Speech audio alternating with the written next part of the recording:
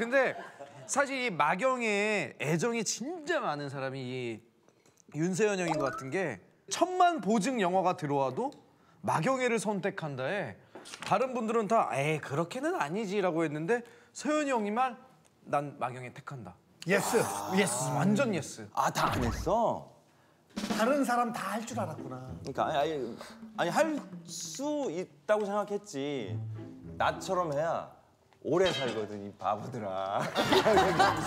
진짜 일단 하고 보는 얇고 거야. 길게 가자가 신조입니다. 그렇지 가늘고 길게 영애 씨가 잘 되고 있는데 그만둘 이유는 없지. 일단 잘 마무리 그만큼. 애정이 있다 뭐. 애- 애정이 이거지. 있다는 거. 아 있지. 그래서 그런지 몰라도 이새 멤버를 캐스팅할 때 제작진이 꼭 서현이 형한테 물어본다고 그래요. 실세라니까. 이건 또 뭐예요? 뭘 아니, 뭐 아니 비선 실세라고 하는데 밝혀야 돼. 전혀 아니야. 그 전혀 아니고 정확히 밝혀주세요. 정확히. 정확히 밝혀야지. 오해하지만 막 내통하지 않아. 진짜 전혀 아니야.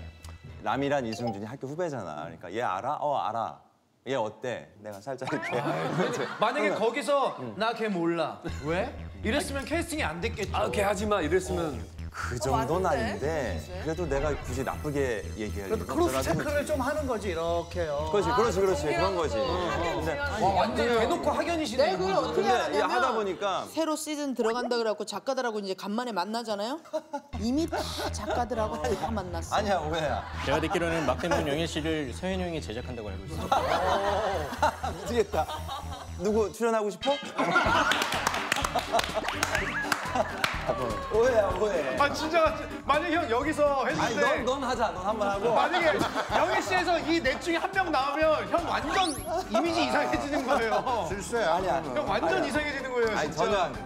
아니에요. 그게 진짜 결과적으로 맞는 게 실제 시즌 1부터 했던 사무실 식구 중에 유일하게 지금까지 남아있는 사람이에요.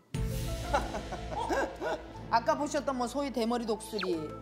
이 진짜 와이프였던. 이제 내 친구로 나왔던 지원이라는 친구, 뭐 원준이 뭐 이런 애들 다 끝났어.